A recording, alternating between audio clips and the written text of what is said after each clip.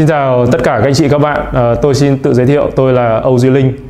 trưởng phòng tiêu chuẩn an toàn chất lượng, thư ký Ủy ban an toàn của Tổng ty Hàng không Việt Nam.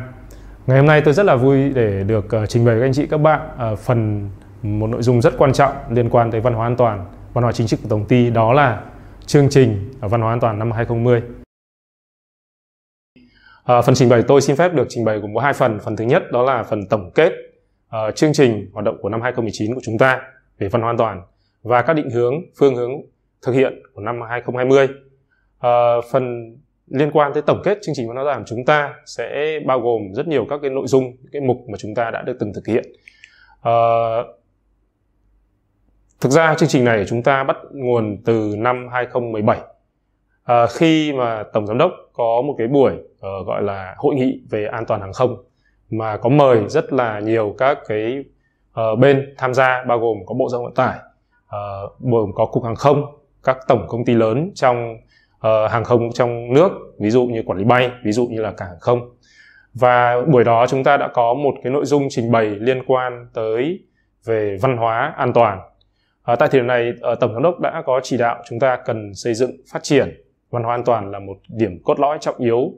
và một phần rất là quan trọng trong cái hệ thống quản lý an toàn chúng ta. Và từ thời điểm đó chúng ta đã xây dựng nên một cái nội dung mà uh, chúng ta thấy rằng là hiện nay đã được triển khai khắp các nơi đó là văn hóa chính trực just culture uh, với cái mục tiêu và định hướng như vậy thì tổng ty chúng ta đã thực hiện rất nhiều các nội dung đã làm trong 2018 gồm hội thảo văn hóa an toàn đào tạo BOS uh, ờ, văn hóa an toàn hàng không năm sao Đồng thời năm 2019 chúng ta ra được một nội dung vô cùng quan trọng đó là bộ định nghĩa hành vi hay còn gọi là bộ định nghĩa và hướng dẫn thực hiện văn hóa an toàn và chính trực trong tổng ty chúng ta. À, năm 2019 chúng ta đã thực hiện được một nội dung quan trọng thứ hai đó là ờ, mức độ văn hóa an toàn chúng ta là ở đâu, mức độ thế nào. À, quay lại ở thời điểm trước năm 2013 chúng ta đã có một cái nội dung mà uh, chúng ta gọi là khảo sát văn an toàn và chúng ta đạt được mức 3.8 thì 2019 chúng ta đã triển khai được lần đầu tiên một nội dung mà khảo sát với số lượng người vô cùng lớn 8.000 người. Báo cáo các anh chị các bạn trước đây chúng ta làm ở mức độ uh, thấp khoảng độ 2 3 ngàn. Nhưng lần đầu tiên chúng ta làm được 8 ngàn người trong tổng công ty với một uh, loại hình survey online trực tuyến ẩn danh và các thông tin hoàn toàn được khách quan trung thực. Và 2019 chúng ta cũng có một nội dung rất là quan trọng đó là đào tạo và hướng dẫn.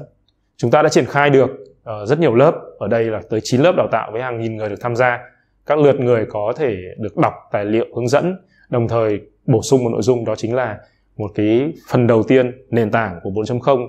về safety đó chính là trang web và các cái chương trình hướng dẫn huấn luyện đào tạo trên trang web văn hóa an toàn chúng ta thì từ trước đến nay chúng ta có thể thấy uh, văn hóa an toàn chúng ta cũng có cũng có xây dựng uh, cũng được đặt trong chính sách an toàn chất lượng chúng ta. Nhưng từ năm 2019 sau khi ban hành bộ định nghĩa hành vi và chỉnh sửa trong chính sách an toàn chúng ta thì nội dung này được đưa lên phần đầu tiên. À, trước đây chúng ta thường đề cập tới văn hóa gọi là không trừng phạt, ừ, các báo cáo an toàn được khuyến khích thúc đẩy. Còn hiện nay chúng ta được thay đổi cho 2019 đó là chính sách an toàn do Tổng đốc Chủ tịch Ủy ban an toàn đã ký ban hành đó là gì ạ? Đó là văn hóa chính trực, văn hóa an toàn được xây dựng và thực hiện và được đảm bảo thông qua bộ định nghĩa hành vi áp dụng trên toàn tổng công ty. À, vậy thì trách nhiệm của chúng ta, trách nhiệm của hệ thống đối với văn hóa chính trực là gì? À, đối với ban toàn chất lượng chúng tôi thì đó là diện ban hành chính sách, đưa ra các hướng dẫn nội dung cập nhật và duy trì các hoạt động à, thúc đẩy an toàn ở cấp tổng hành dinh. Còn ở các đơn vị chúng ta thì đó là gì ạ? Đó là xây dựng cập nhật và đây là làm giàu, tôi muốn nhấn mạnh đó là làm giàu và làm phong phú lại cái bộ định hành vi này với thực tiễn thực tế triển khai tại các đơn vị giúp cho cấp quản lý có thể dựa vào bộ hành vi có thể gì đánh giá lại các cái hoạt động về an toàn chúng ta của bản thân nhưng đồng thời là cán bộ công nhân viên cũng có thể dựa vào bộ định hành vi để có thể chủ động tránh những cái việc thực hiện các cái lỗi vi phạm an toàn mà chủ động thực hiện các vấn đề các nội dung mà có tính chất xây dựng hệ thống support hệ thống và phát triển an toàn mức độ cao hơn. Bộ định hành vi chúng ta thì uh, có thể thấy là lần đầu tiên chúng ta trong bộ định nghĩa hành vi có được thêm phần đó là các cái nội dung liên quan tới hành vi tích cực từ xưa nay chúng ta thường tập trung vào đó là gì ạ? Hình thức kỷ luật. Thường quy chế chúng ta là hình thức quy chế gọi là kỷ luật hoặc là uh, các vấn đề xử lý các vấn đề vi phạm an toàn.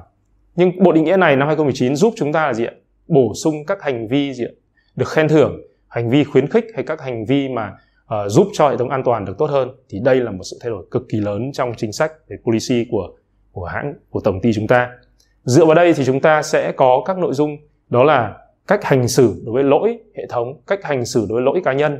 cách hành xử ờ, ờ, đối với các cái vi phạm của hệ thống hay các vi phạm của cá nhân để chúng ta có các mức độ ờ, đánh giá hay mức độ chúng ta gọi là ứng xử phù hợp với các hành vi về an toàn. Và điều quan trọng hơn đó là gì ạ? Đó là chúng ta sẽ giúp cho cải tiến lại các quy trình về điều tra. Hiện nay công tác điều tra chúng ta đã một là một điểm yếu trong tổng ty, đó là việc đưa ra nguyên nhân gốc Ờ, đưa ra được các cái giải pháp thực hiện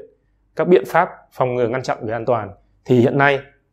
dựa vào bộ hành vi này chúng ta có thể đưa ra được các nguyên nhân gốc sâu hơn đó là lỗi của hệ thống đó là lỗi của cá nhân và cách hành xử hay khắc phục phòng ngừa chúng ta sẽ được uh, định và định ra và thể chế hóa trong bộ định hành vi. Uh, khảo sát an toàn 2019 cũng là một điểm nhấn trong 2019 chúng ta đó là chúng ta biết chúng ta nằm ở đâu uh, xin báo cáo anh chị các bạn là văn hóa an toàn chúng ta sau 2 năm từ 2017 đến 2018 và chuyển sang 2019 thì sau buổi khảo sát của 2019 chúng ta đạt được mức là 3.9. Vâng, mức 3.9 đó là gì ạ? Đó là mức gần với tiếp cận của mức proactive tức là trong cái thang của Hudson đó là chúng ta ở mức chủ động. Uh, mức 3.9 này nói lên là gì ạ? Commitment tức là cam kết của lãnh đạo rất là mạnh cho vấn đề về văn hóa an toàn. Đây là một điểm sáng rất tốt và đây là một điểm mà dẫn dắt đi đầu cho toàn hệ thống chúng ta hiện nay tất cả đều cũng ai nói là an toàn là số 1 và đây thực sự đó là được thể hiện rõ bằng gì ạ? kết quả khảo sát chúng ta và mọi người có thể thấy rằng là cái điểm tốt mà chúng ta trong khảo sát văn hóa an toàn đó là gì ạ? đó là vấn đề học tập về an toàn về tầm nhìn cốt lõi về an toàn uh, chúng ta cũng có đã tham dự những cái buổi BOS về uh, xây dựng về sứ mệnh tầm nhìn và giá trị cốt lõi của Vietnam Airlines thì chúng ta thấy rằng an toàn chính là một giá trị cốt lõi của Vietnam Airlines và tất cả đều đã quan tâm đều có tham gia quá trình xây dựng và triển khai phát triển cho cái văn hóa an toàn và chính trực của tổng ty. Uh, tôi xin dừng lại ở phần một này với việc rằng rất mong muốn trong cái chương trình văn hóa an toàn năm 2020 chúng ta thì chúng ta sẽ có các chương trình, phương án và sự quan tâm và sự phối hợp của tất cả các đơn vị cho cái chương trình 2020 được thành công. Xin cảm ơn anh chị các bạn.